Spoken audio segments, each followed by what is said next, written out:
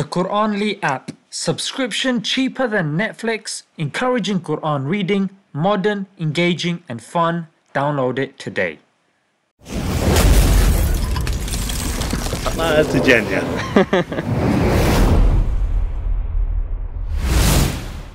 Assalamu alaikum guys and welcome to another episode of Smile to Jannah. Today I'm going to be talking about Young Adz. He's very known in the trap wave scene, hip hop, rap here in the UK and very known amongst the youth who follow drill music. He comes from an industry that, let's face it, glorifies money, drugs, violence, and women. And accordingly, their audience desires it and not only desires it but uses it as a yardstick and as a measure of success. But despite being in such a toxic industry, it's very interesting how he still turns to Islam for guidance. In his recent interview, he talked about the importance of marriage in Islam. But what do you guys think about marriage though? We're Muslim, innit? So you're supposed to be married. You know, we don't do this girlfriend thing and all that. So, or you shouldn't, mm-hmm. like a lot of other sins. So you should be with someone you want to marry or you should marry, innit? You know what I mean? And also expose the fact that he's married as well. Can you see one day that it'll go that way for you guys? Yeah. I'm married now.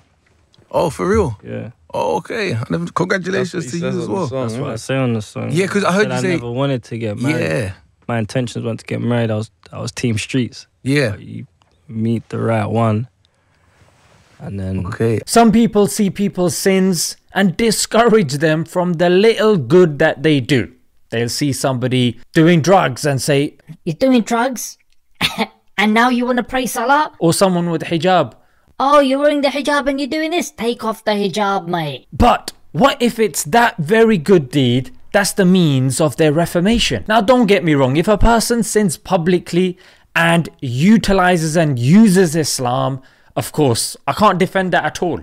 Yeah? Or if a person claims to have some sort of affinity with the religion but is doing haram, they're doing damage to the religion, frankly. But at the very least, don't write this person off completely. Don't discard them totally. Work on them slowly, slowly. Don't leave them. A lot of us do need a second chance. And a lot of these people, this world is all that they know. They've grown up in these estates and ghettos and stuff like that. And with such individuals, you really have to empathize with them. I'm not saying give them a free pass. I'm saying, look, don't wipe them out completely. Understand where they're coming from. Don't just lecture them and give them the bare bones of the religion. Because even when Islam came, it didn't initially come with rules and regulations. It came with details about paradise and about the hellfire and about Iman and faith and the likes. And let's not forget, people like Young Adz are converts to the religion, yeah, or reverts to the religion. So that brings me on to my main question. When surrounded by women,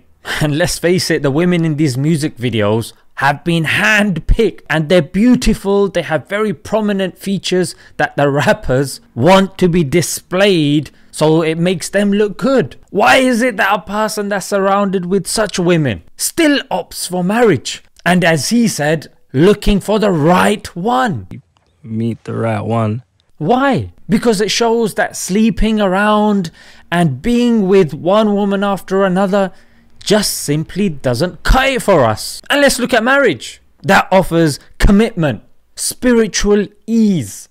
Yeah, you don't feel guilty and true love. And let's look at womanizing. That carries so many risks spiritual discomfort, heartbreak, distraction, addiction, and the likes. And Young Adz is not the only one that has turned towards marriage. Frenzo Harami, who again some of you know from the drill and the rap scene, and I interviewed him some time ago as well. He's also married. So, this is to the critics of Islam who don't have a single leg to stand on. Because here we have people that are labeled as delinquents, dangerous, and lost. And they're offering categorical imperatives, subjective morality, and their judicial system. And it's not doing anything. It's just not getting the job done. Along comes Islam, and look how it tames such people. People that are surrounded by women, getting them to stay and dedicate themselves to one woman look, whatever happens, let's face it, Allah knows best if he, you know, does go around. But for him to be able, because let's face it, it doesn't make him look masculine. Yeah, in his scene, like like, he's admitting, it doesn't make him look like the hip hop star and the drill star that people look up to. Yeah, I'm married, mate. Oh, okay, might have a kid on the way, mate. Doesn't work like that. So what is taming him? And this is I've made a video on this guy before also yeah, where he says that when he turns 30, he wants to cut off his dreads and move to Saudi. Well, a lot's going on in Saudi, but of course, it's like a metaphor saying, I want to go to a Muslim country because this is not the life. I'm just doing it because it's all I know. I want to get the money because let's face it, I mean, who's going to hire people like this? So, to these people, Islam comes along, tames them, and look how it resonates with them. So I'm going to end with this. The true worth of a drug is measured by the severity of the disease it cures. We've seen what Islam is curing, and what cure are you guys offering? Oh, a suicide machine.